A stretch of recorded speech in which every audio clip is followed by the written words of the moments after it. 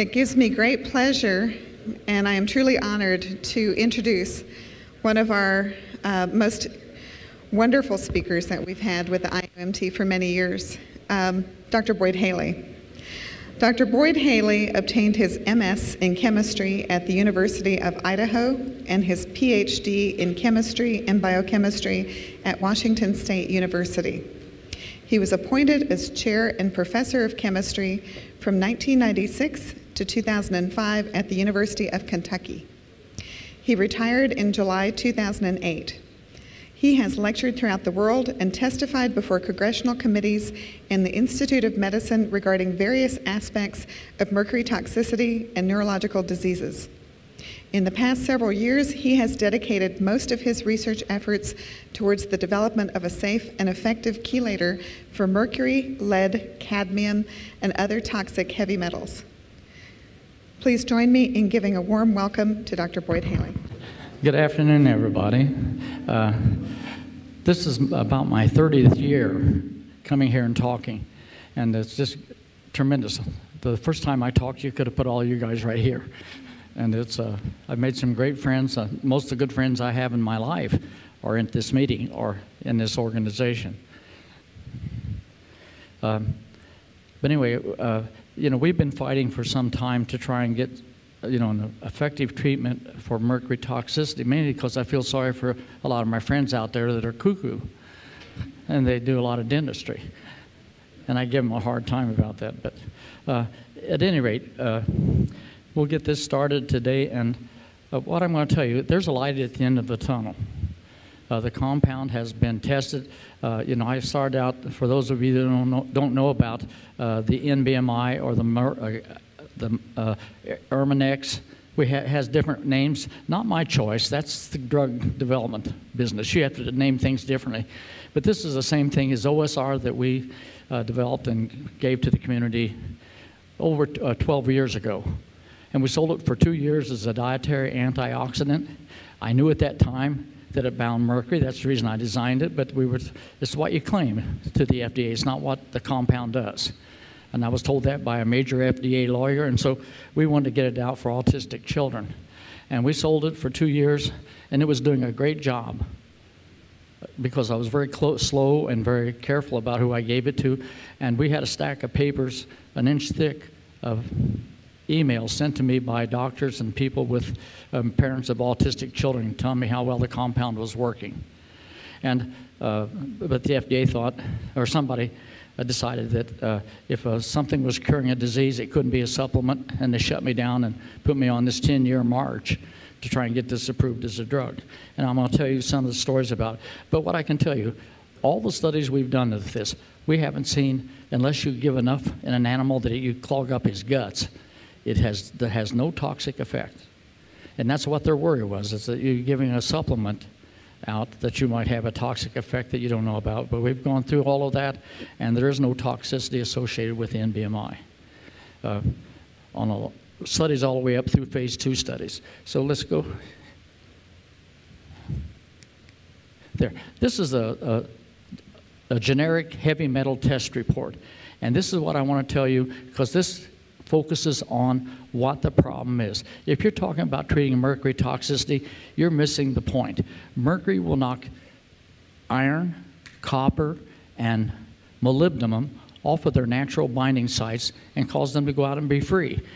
All metals that are heavy, if they're free, are toxic. Free iron is very toxic in your body, and your body generates a very complex biochemistry to make sure you have no free iron because if you have free iron, you can now transfer electrons to uh, oxygen, making superoxide anion, gets converted to hydrogen peroxide, and gets converted to hydroxyl free radicals, which is oxidative stress. And so keep in the back of your mind, all elements that cause oxidative stress do it because they knock free iron off the iron binding sites. They are not redox metals. They cannot donate the electron to make hydroxy radicals. And so if you look at this general. This is just a general heavy metal report, and I have looked at probably hundreds of these, and many of you have sent me ones. And you see, there are a load of different metals. Look at the number of different metals that are toxic in this person at toxic levels. And so, a good chelator would be something that would bind mercury, iron, copper, and any other metal that would be toxic in the body. And that's what I started out to do was to generate something, one that first would get inside a cell and then bind all the toxic metals. Because all the problems in the world aren't caused by dental amalgams. I have seen reports such as this, which would have uh, uh, toxic levels of alum, uh, pardon me, uranium. Now, we're in a world with a woman living in Florida, mother of four or five children, get toxic levels of uranium, and she couldn't tell me.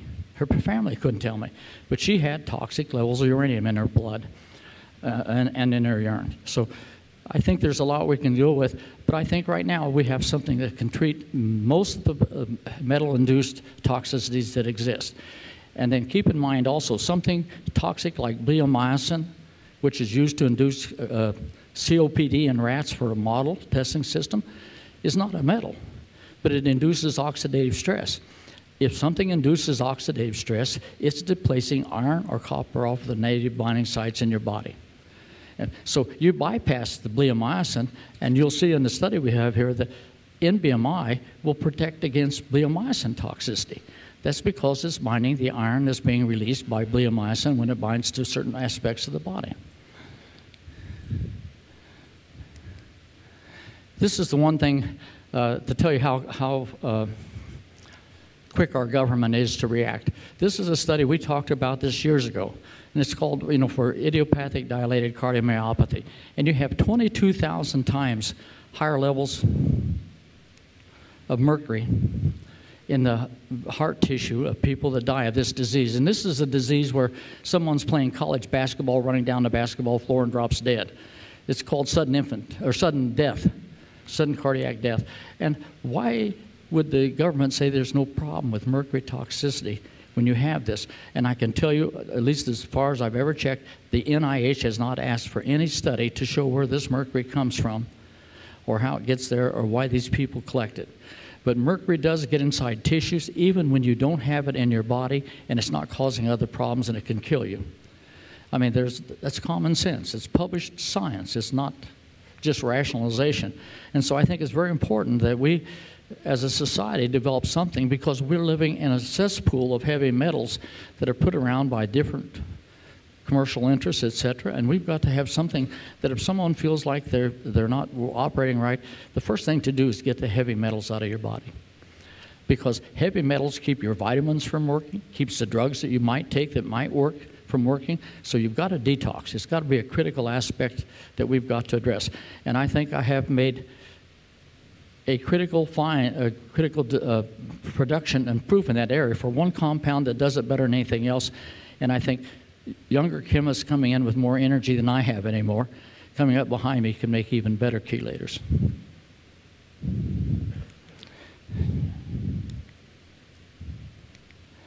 This is something I know you all like to see this, but if I went into this in detail, and guys like me love this stuff. That's because nobody knows if we're telling you the truth or not. But if we look at, but if you look at this, this is a, a study where they're talking about the production of uh, hydroxy free radicals. First of all, you have to have something generate electron. In the case of general oxidative stress, that's knocking iron off of the electron transport system of the mitochondria. And when you do that, you don't make ATP anymore. The electrons coming from the citric acid cycle pile up on the electron transport thing, and they leak into the, into the mitochondria. And the mitochondria is where you dump off your oxygen that you're breathing, and so you end up with oxygen and electrons. Okay, and then so you form superoxide anion, and that's all on here. Uh, you can all look at it if you want, uh, and you can look on the, the thing. But essentially, what you need is iron. So when mercury blocks the electron transport system, it decreases your ability to make ATP, makes you have less energy. It piles up electrons in your uh, mitochondria, and it knocks off free iron off of the iron sulfur centers of the mitochondria. So you have iron and electrons, and you're breathing in oxygen. So you have a system set up to make catalytic amounts of hydroxy free radicals, which is better known as oxidative stress or inflammation to most of you if you go down to the bottom line. So that's basically it. So the main thing we have to do is make sure that the iron isn't there to form hydroxy free radicals. And you can do that by one chelating the mercury that doesn't uh, before it knocks the iron off, or if it knocks the iron off, chelate the iron. And NBMI will do the compound we're going to talk about will do all of that. This next slide here, this is just a, a, study when I first came in and started talking about this is what I call farm boy common sense. Why would you try to chelate a toxic metal that's toxic when it gets inside the cell by using a chelator that can't get inside the cell? It just doesn't make sense. And so that's the reason we off in our development is to making a compound uh, NBMI that will go through the lipid bilayer. Uh, you know, and if you want to take a lesson, just look at the, the uh, ethyl mercury. Ethyl mercury has a positive charge on it, so it can't go through the membrane. I mean, charged compounds don't go through a biolo- biological membrane. But if you know about mercury, mercury binds chloride quite tightly, and your blood's full of chloride, so you form ethyl mercury chloride. You're uncharged, and you can pass, pass through the lipid bilayer and collect in the cells. And it does that. The other thing that's important for you to understand here is that if you look at the data on ethyl mercury from thimerosal, the one that's put in the vaccines for a while, you find out that the level of mercury inside the cytoplasm is five times higher than it is in your blood. Then when it gets in the, in the cytosol, it, it's, 2,000, it's a thousand times higher roughly in the mitochondria than what it is in the blood. So you're having it concentrated. So when people say it's not enough mercury, it's low level in your blood, well, certain compounds will concentrate, and they concentrate in the mitochondria because that's where the sulfur is. The, the uh, electron transport system is uh, made up of iron sulfur complexes, so it's just sucking the mercury in because when it goes in there, it binds it and it doesn't let it go very well. And so you have, we have a lot of toxicity, and just looking at the blood and urine doesn't really tell you much of anything. Uh, but anyway, so we have a compound that, unlike DMPS and DMSA and other chelators that are commonly used, we have one that goes straight through and it binds the mercury. And understand this mercury vapor doesn't react with anything, not even NBMI. And so that's the reason mercury is so dangerous, is that when you get the vapor out off of your amalgams or off of any source from coal-fired power plants and you breathe it, that mercury is just totally not going to be attracted to anything. It has to get inside the cell, and when it gets inside the cell, at this point here, it gets converted to Hg2+, plus, so it goes from being totally non-toxic to being incredibly toxic by the action of an enzyme called catalase. And catalase pulls two electrons off of mercury, making Hg2+, plus, and now it binds to your proteins, displaces iron, because iron is Fe2+, plus, and, or Fe3+, plus, one of the two, uh, in the tissues. And that, that's how the toxicity begins. You cannot look at somebody who's been breathing mercury vapor, and we learned this adamantly when we tested the mercury toxic gold miners in Ecuador. They're breathing mercury at 50 parts per million. They'll have a high blood level of mercury, and yet when we give them NBMI, their urinary mercury drops like a rock. And that's because the mercury in their blood stayed up high. It didn't drop as, high, as like the urinary mercury did because it's mercury vapor and it doesn't react with anything. And you can take NBMI. NBMI can sit around with mercury vapor for a long time. And I know I can tell some, some of you some stories about everybody thought that all of these chelators bound mercury vapor. They don't at all. Mercury vapor has all the electron shells on the mercury filled, and they will not, it will not bind to anything except form a metallic bond with another uh, metal. Is, uh, and this is a structure of uh, DMPS and DMSA, and the point I want to make here is that these are not charged. These are charged at physiological pH. These both would have negative charges and wouldn't span or enter the cells of the body, and that's been shown by research also. And this is the key take home lesson for some of you to study because this goes against the grain of what a lot of people believe. DMPS and DMSA do not form a chelate with mercury. They form a sandwich complex. There's not enough room. And this is a big difference between my compound and these two compounds is if you look at DMPS, it's like you're trying to catch a basketball and your hands can only be this far apart. You can't catch that basketball. And that's the way it is with DMSA and DMPS. The, the, the sulfurs on adjacent carbons do not have enough space between them for a mercury atom to set. So they form a sandwich complex. In other words, there'll be two DMPSs on each one side of the mercury atom to carry it out. And that's the way glutathione goes, it carries it out too. So you can't do that. And so in my mind, what we had to do is we had to make a compound that the sulfur groups would be up here and you could catch it with one hand and then bring the other hand in. Now you can catch a basketball. It's a simple concept, but it's just stereochemistry to a chemist. And so this is the reason this comp- our compound works so well. It can bind any metal with a single sulfur, and then it can orient exactly as the metal wants to chelate it. And this is important for iron because mercury has to be bound like you're grabbing a basketball on both sides. Iron doesn't like being held like it. Iron has a different coordination chemistry. If you look at its binding in hemoglobin, you remember there's six sites, six coordination sites. Well, then you want something that can make six coordination sites, and our compound can do that. So, and this is the other thing. Excuse me. Blow your breath. I'm sorry about that. I apologize. This is the, uh, this is the binding or the pK value of uh, uh, DMPS with metals. And you see they got numbers. You have never seen a table like that with me with our compound because we can't make those numbers.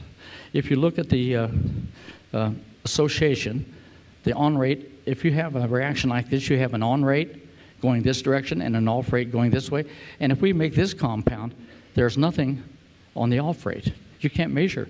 You, make, you bind mercury with NBMI, it never lets it go. You can't measure any off rate. We can put it in a pellet, we can wash it with 10 millimolar EDTA, and you will never get the mercury off of NBMI once it's on there.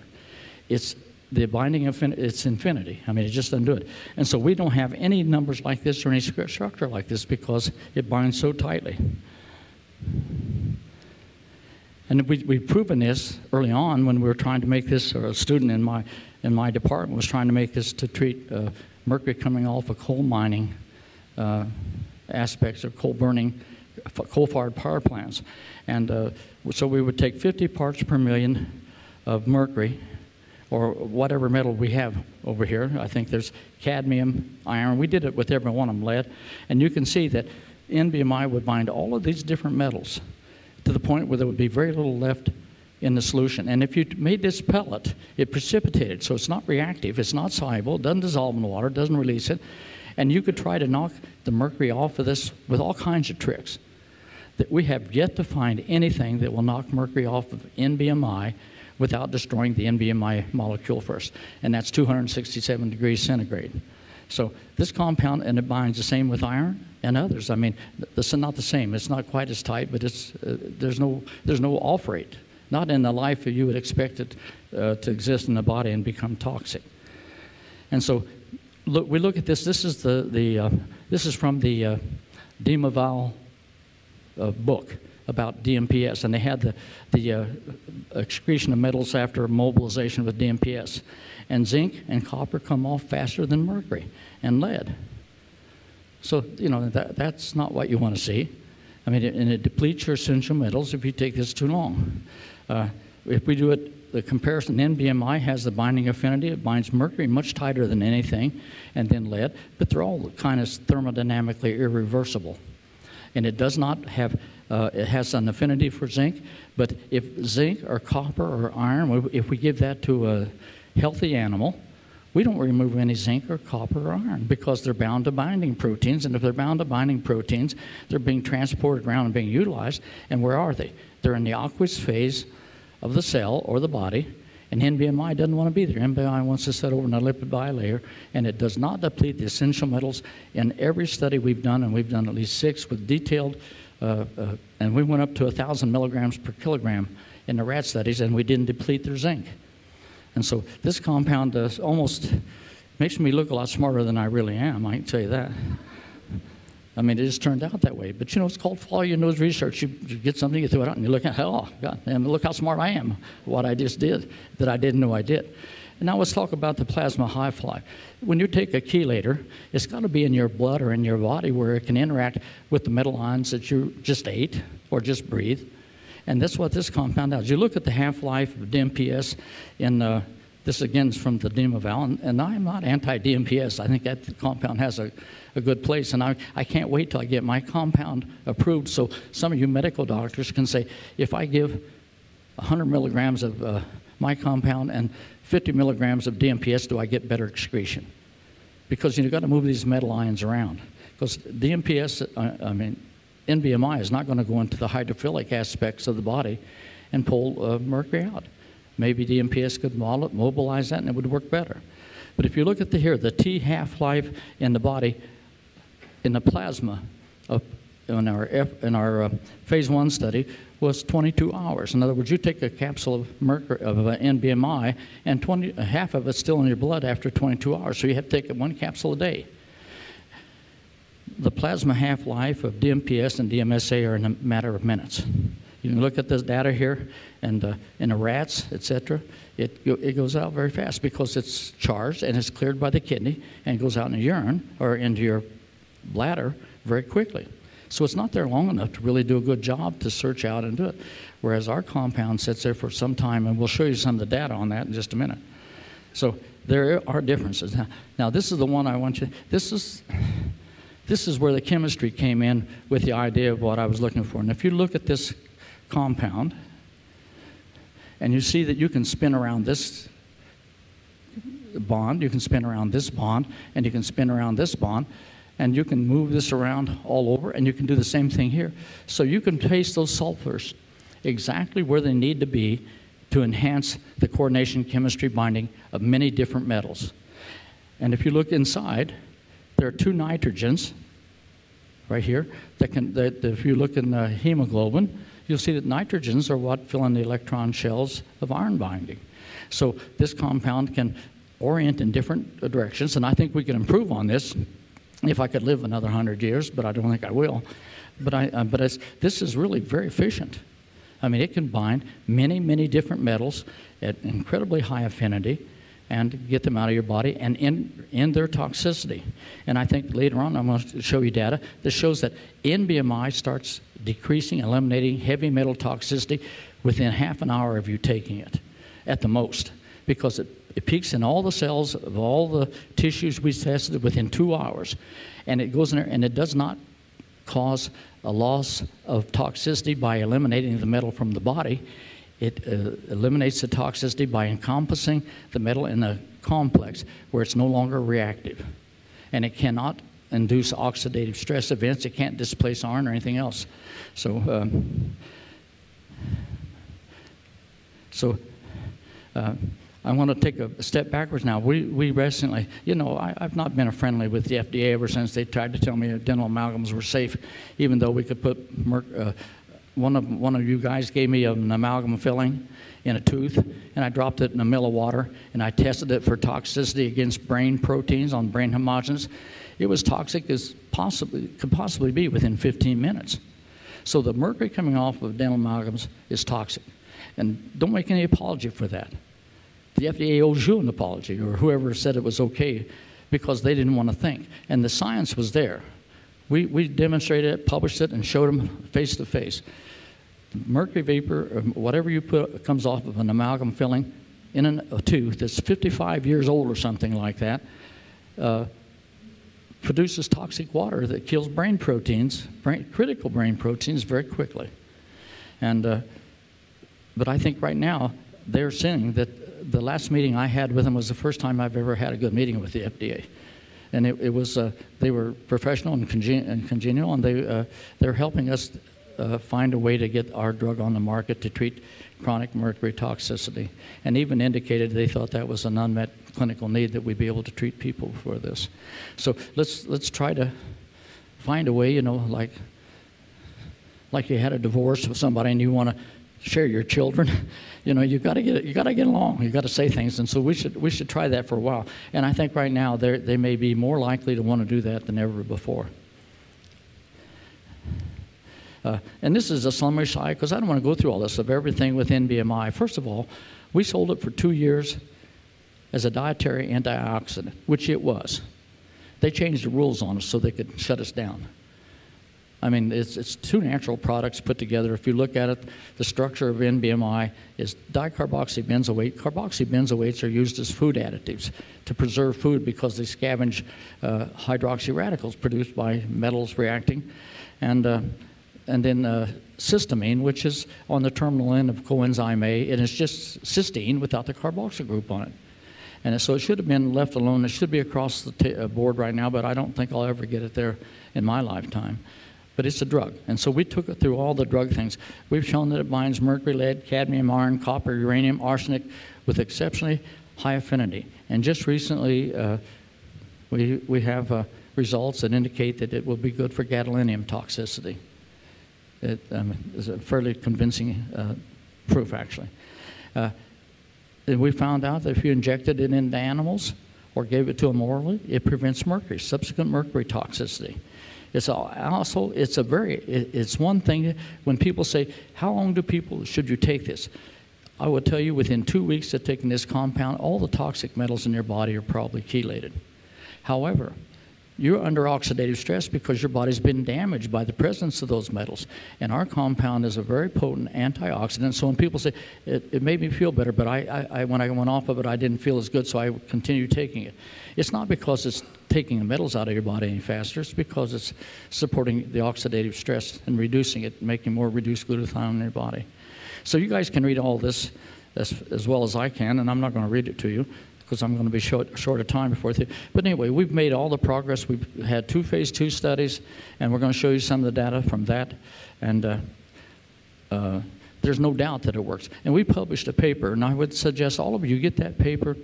We published it in uh, 2012, uh, and it's about uh, treating rats, injecting rats with multiple lethal doses of mercury on the left side of the stomach. And I did that because I didn't want to feed animals. I don't know how how you ever know what an animal, how much it eats, etc. But if you inject mercury on the, the uh, this is the paper, by the way, the left side of the body, uh, lethal doses, and the rats are going to die. We know that because we, we tested how much we had to give them to give them one lethal dose. And then uh, you uh, wait 20 minutes to make sure that it's around. And then on the other side of the gut, you inject the NBMI under the flap of the skin so it can go out and say, can it catch it? I mean, it's not, they're not bound when you put them in there. And what we found is some very uh, effective data. And this was published in Toxicology and Environmental Chemistry. And the results I got back from the scientists that reviewed this were outstanding. I mean, they said, my God, this is just exactly what the world needs. Because they have so many people dying of mercury toxicity, either in gold mining states or uh, some people just can't excrete mercury normal American people that live in a clean atmosphere, if they get a few amalgam fillings, they're very likely going to collect the mercury and never excrete it, and they're going to get sick. Uh, and so the reports were, and I thought this is a shoe, and I got the FDA on my side now because this is really going to work. Uh, that's not the way the regulatory community works, I can tell you that. So, but here's a study that uh, I think got everybody's attention. If you look at this, this is the uh, uh, percent survival uh, and this is one times the lethal dose, and this is two times the lethal dose, and they never died. We just treated them one time, one shot of the compound on the peritoneal, uh, subcutaneously in the peritoneal area, and they never died. So then we went up to 14 times, and when we did that, uh, you know, they were none of them dead at six hours. If you didn't treat them, they were all dead at six to 12 hours. And but if you uh, let them go, 67% of them never died. We kept them alive for three or four months to see if they would develop cancer or, or grow wings or something. And we couldn't tell them from normal rats. I mean, they just totally recovered. They didn't get sick and they didn't die. And if you didn't treat them, you can look at the level that lived if they weren't treated at all. I mean, they all died. And so, if something's keeping you from dying, you don't you think it's remotely safe?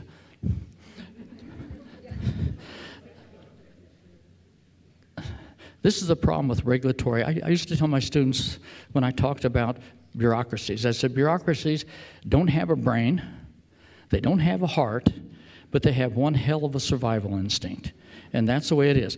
They've got, they've got to say, we're, we're important, and we don't want you coming in there curing all this without having us involved and paying us your, our $100,000 or $200,000 regulatory fee. So, but anyway, so we did this. Now, now think of the logic of this. You inject 14 times. This in this particular group, uh, uh, we gave them uh, half a lethal dose because we didn't want them to die, and then we let them live up. And, and three of the 10 did die. They got. If you gave them NBMI, none of them died. But if you didn't give them NBMI, three of the 10 rats in this study died. And then you wait them out to the end of the study, and then you whack off their heads, and you analyze their liver and everything else and say, is there mercury there? Well, yes, there is. Matter of fact, there's no difference in the mercury level of the NBMI treated and those that aren't treated, except the, the main difference is the ones that got NBMI are alive, their kidneys are normal, they're functioning, they're eating, they're putting on weight. And if you don't give them NBMI, they're dead. And so you have to say, how did it do that? And in the test tube in the laboratory, you find it forms an irreversibly inert complex when you t- react it with mercury. So you would think, well, maybe it's doing the same thing in the animal. I mean, that's what I would think. That's what I did think. That's what I do think. And it's, and it's right. And so when we did this, you can see the mercury level on these animals with mercury only and uh, with the NBMI, it did not remove the mercury but it stopped the toxicity. And that means it's forming an inert complex that just does not allow the mercury to be toxic. And uh, that's what we're doing. And we also did another study right down here. We made 2,000, we made mercury NBMI complex. I made it myself in my laboratory, and I sent it off to Southern Research Institutes to determine how toxic it was. You know, everything has a toxicity level, just about. And so they started out and saying, if it's not over 2,000 milligrams uh, toxic at 2,000 milligrams per, we're, we're not, it's not toxic. And so they did this, then they gavaged 2,000 milligrams of mercury NBMI. That's 1,000 milligrams of mercury per uh, gavage, and that's enough to kill 25 rats or more. And it didn't, it didn't do anything. They were healthy as could be. They never showed any weight loss. They never showed any kidney uh, deterioration, etc. So the mercury NBMI complex is not toxic. It isn't. It's like, it's just, it's like granite. It's just inert and it doesn't react, and that's the reason that you, you saw. So when you start, if you're mercury toxic and you start taking NBMI, you start decreasing the mercury toxicity of the free iron, the mercury, the free copper, all the toxic metals in your body immediately because this compound goes inside your cells and binds it. It doesn't take it out, it just stops it from being toxic. It doesn't allow it to react with proteins or displace iron and other things that are normally done by free mercury. So uh, that's our story, and we're sticking to it, but the FDA can believe you with, no matter how logical you are, they can say, well, we don't buy that yet. And that's where we are right now. So we're going to do some things that are. And this is written out so you can read it.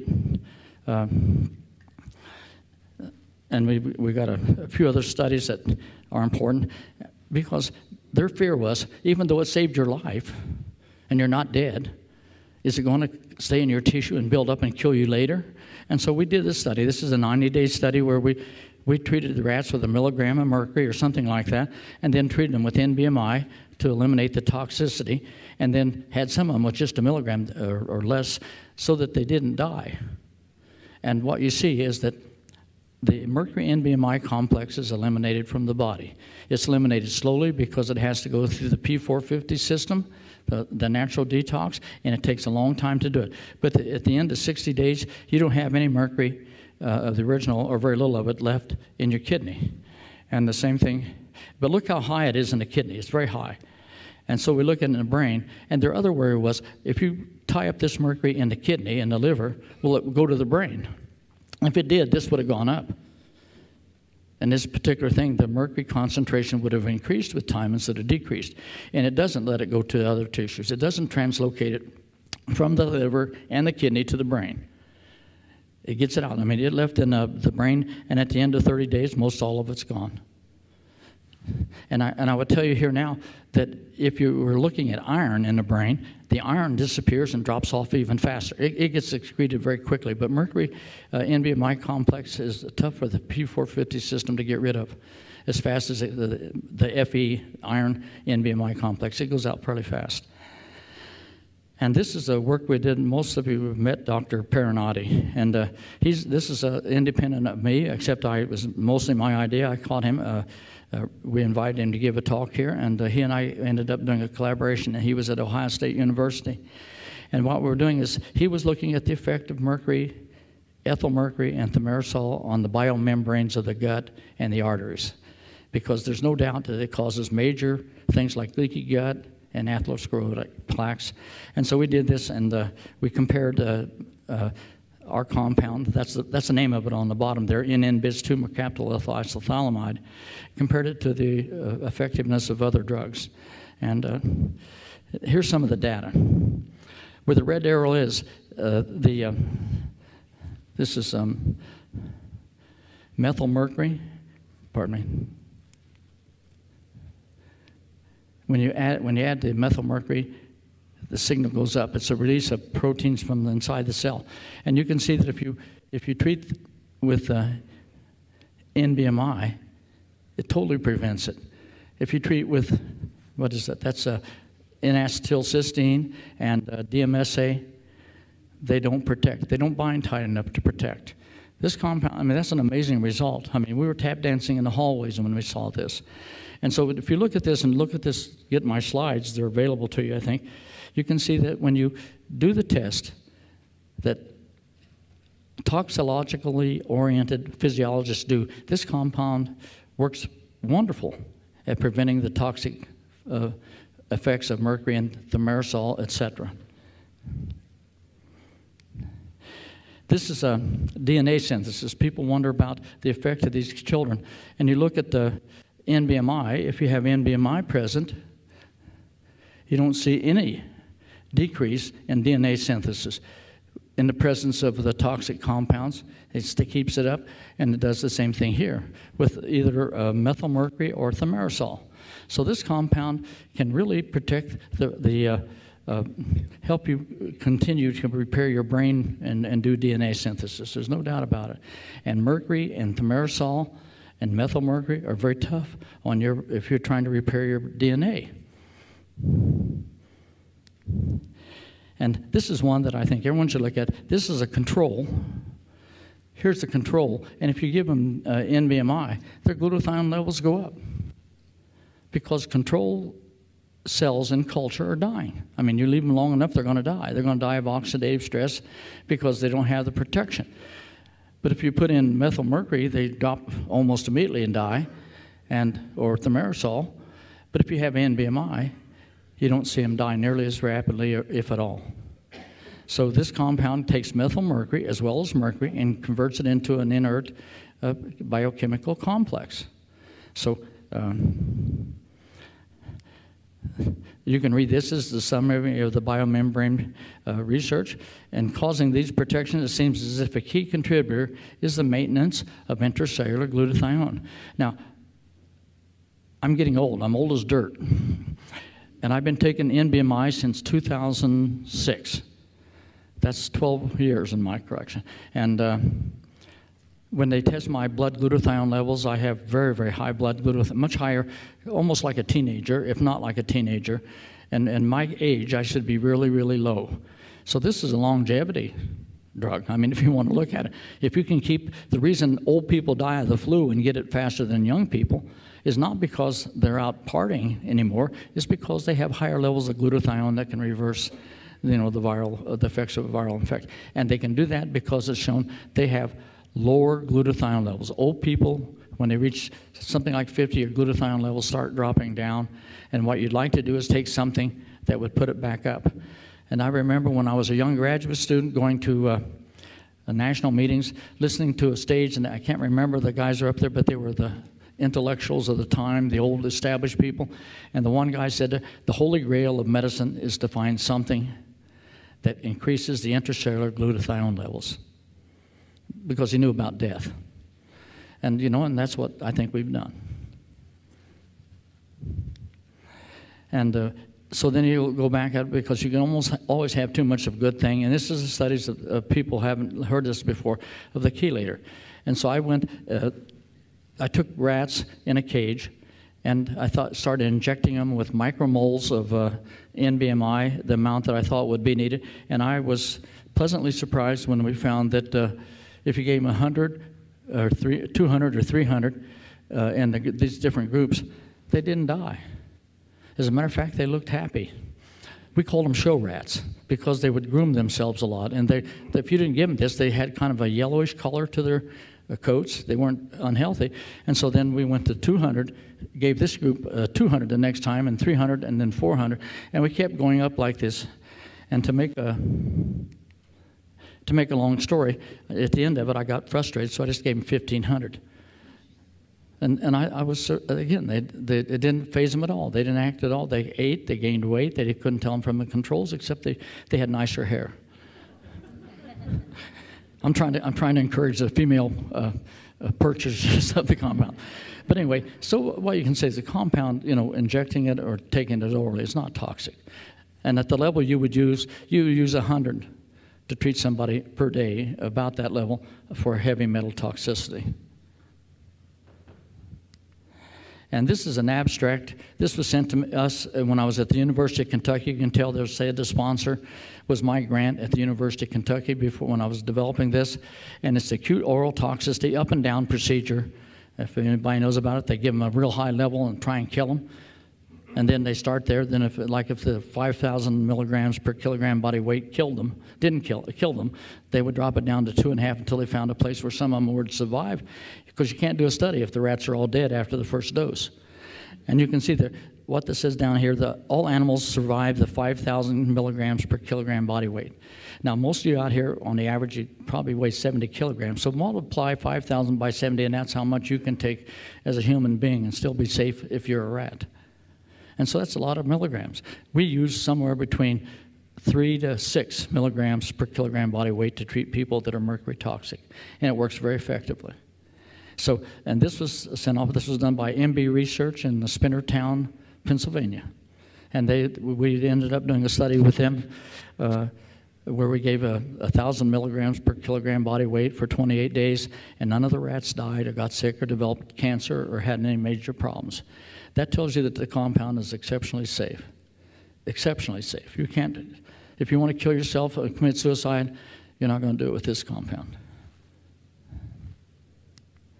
This is the one where, where I'm really kind of concentrating on now. This is the environmental disaster where people are taking liquid mercury and, and they're using it to extract gold. And uh, this was out of an article. Uh, they're talking about liquid mercury is used by the artisanal, the people that are really. I don't think anybody's stupid or so much smarter anybody, but they're not educated. They don't know. They don't have many high schools teaching them even basic chemistry.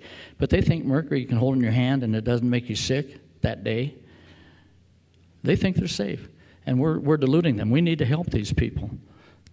And if you look at them, what they do is they, they, they take the liquid mercury and they take it, uh, ground ore where there's mercury in the ground ore and they swish it around with mercury. The mercury dissolves the gold. They filter off the rocks. And then they have a gentleman who doesn't know what he's doing taking a blowtorch and blowtorching the mercury, driving it off.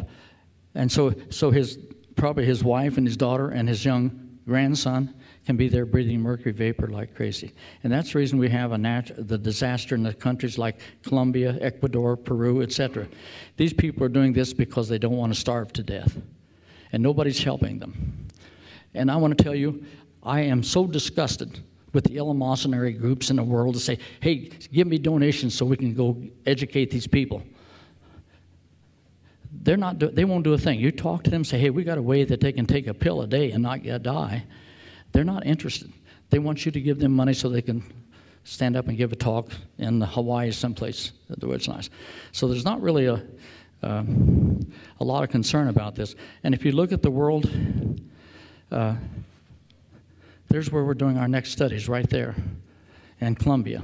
We found a young boy found a bottle of liquid mercury that was used by this type of person to extract gold. He took it to his school, shared it with his schoolmates, and contaminated his school and made 128 people incredibly mercury toxic. And where we're now working with the Colombian government, uh, we've made our all our data available in Spanish for them. I paid $12,000 to get it translated by an appropriate group, and uh, we're trying to have encourage them to let us come down and treat those 128 people, and we're getting close to having them do that.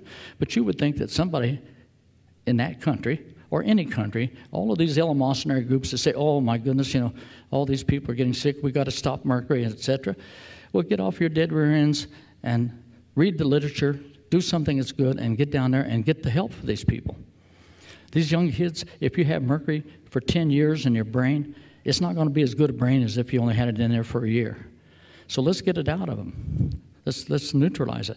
But you can look around the world, and the interesting thing is there's my ace in the hole China. China has, the Chinese are stealing our product like crazy. You all know that. If you look, if you go uh, get our drug and you want to buy it illegally, the Chinese are selling it on the internet. And they're going to be selling it in China. They're going to, because they have a serious problem and they don't have the regulators we have. I mean, I have to make it pure as a pristine snow and show that I can make it in three big batches before I can sell the first capsule while people are out there dying of mercury toxicity. So we, need, we really need to change the way we, we approve drugs for toxic elements like mercury. And this is the stability of the compound. This is the one thing that's important. If you're going to try and take this into the jungles of Colombia, you've got to say, will your compound last? And I can tell you, if you look across the top part here, we have tested this forever, five years in some cases, and it's never shown any sign of breaking down if you keep it dry, and, and even if you heat it. You don't have to, I mean, you just don't add water to it. I mean, you put in 70 or 60% humidity, it won't break down. This is a very stable compound. It's going to be a gift to the people in the jungles. They can take you, they can go into town, see a doctor, be given a, a you know uh, some capsules of NBMI, go back up in the jungle and uh, eat fish or burn gold, and at least they're going to live. And so the compound is doing well, and it is stable. It's incredibly stable. Uh, we did. Uh, people wonder how can you take it. Well, we did a, a phase one study on Swedish students uh, at the Karolinska Institute. We gave them 100, 300, and 600 milligram doses in single ascending doses. And the thing is, there wasn't a single adverse effect with those uh, young students. And it worked, and we could look at the absorbance. Uh, there was, um, I mean, the, the pharmacokinetics of this compound are just, you know, you dream about having that, the, the way it came. And we can look at the, uh, the AUC, means the area under the curve which you look at when you measure the, where the compound comes off, it, uh, it, it, increased in a dose-dependent fashion as you would expect it to. So the doctor is not going to be confused if you give 300 milligrams or 400 or 500. You're going to know how much is getting in the patient. It's very simple. And says only a minor part of the NBMI was excreted in the urine. It's not. It's, it's hydrophobic. It doesn't want to go in the urine. The way you get it in the urine is that NBMI binds to the hydrophobic pocket on human serum albumin. There's a pocket that's used to carry lipoic acid and fatty acids around your body, so when you eat a piece of fat, it gets to the fat gets to where it gets digested, and so that's where it binds. And, the, the, and so when you when you have kidney problems, you're urinating you're urinating H human serum albumin.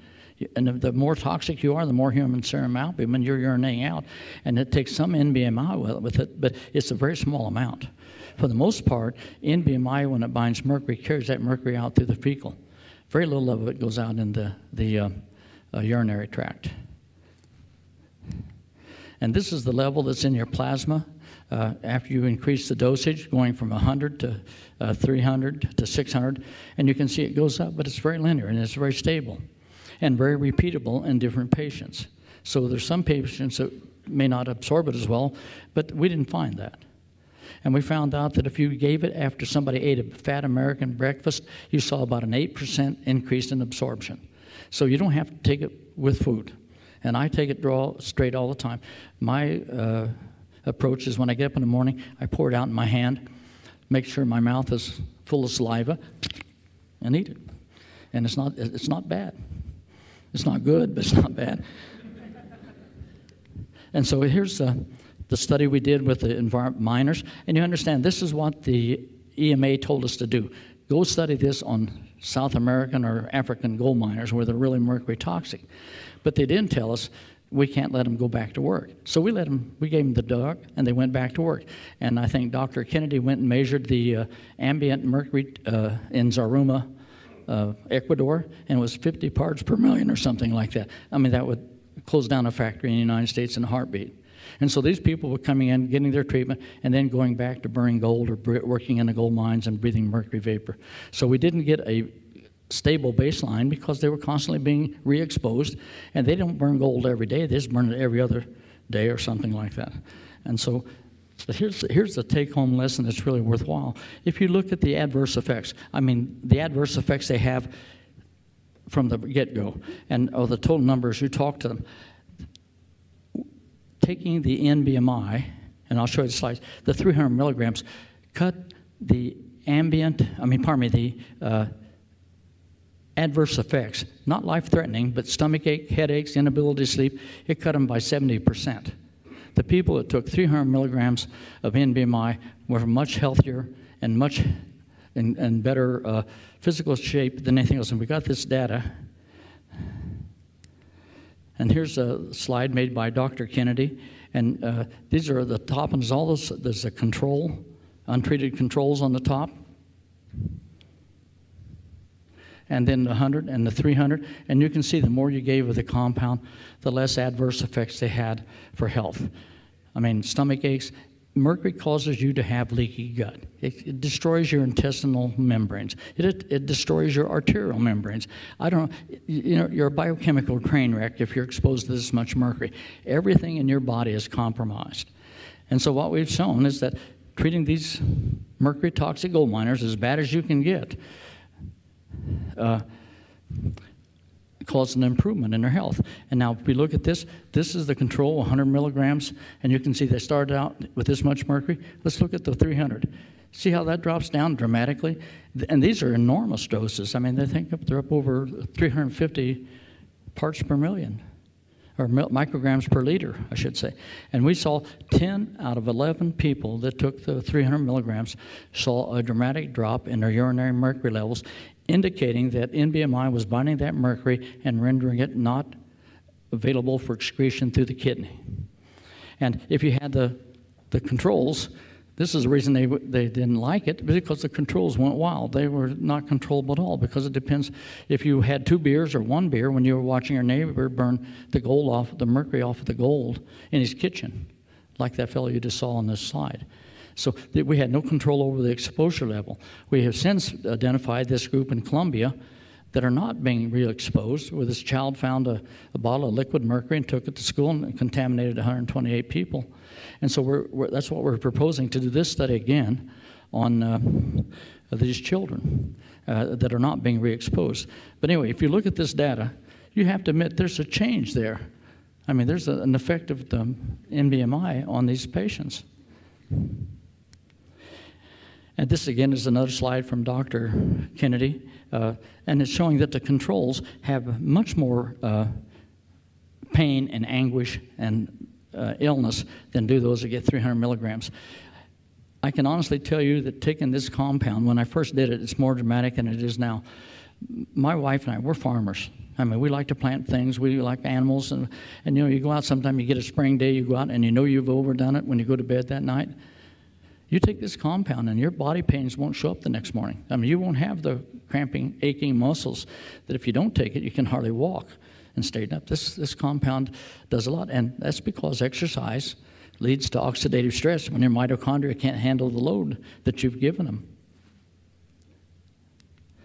And this is the average decrease in the mercury levels in the 300 milligram group. Uh, you can look at this, um, and depending on how you present the data, you can see that if you take NBMI from the control, the percent uh, urine and your mercury drops dramatically. And that was only with a very short study. I mean, we could not do it. They wouldn't let us do it any longer than two weeks. And these people were incredibly toxic. Uh, and you can see the placebo didn't change at all. And we just talked about that. We can look at the Ecuadorian gold mine study. The following occurred.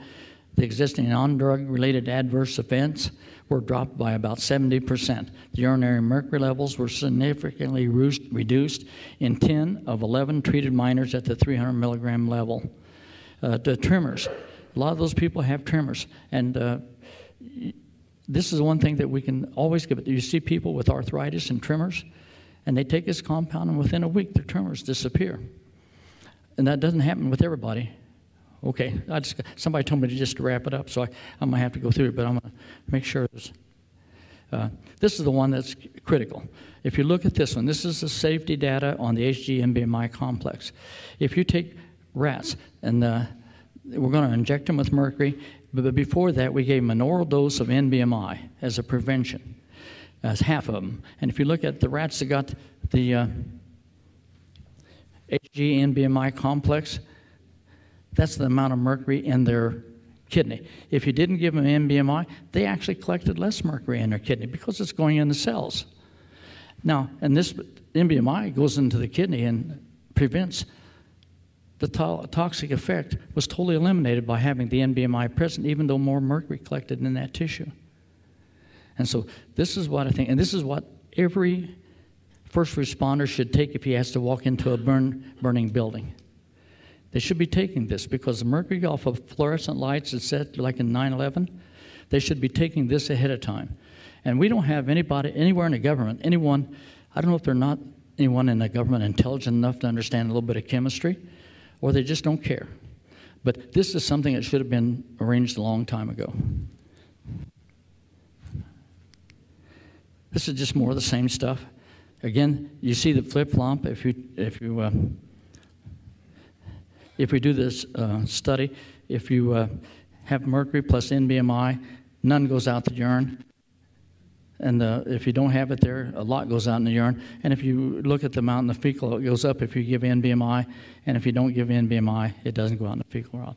So what we have here is a compound that binds the mercury in an inert complex, is processed by the P450 system that directs it to go out through the biliary transport of the liver into the fecal matter, and you don't have any kidney problems with this compound. It eliminates it, it starts eliminating them quickly, and I hope I've made some sense to all of you. I appreciate your attention, and uh, this guy looks big down here, so I better quit.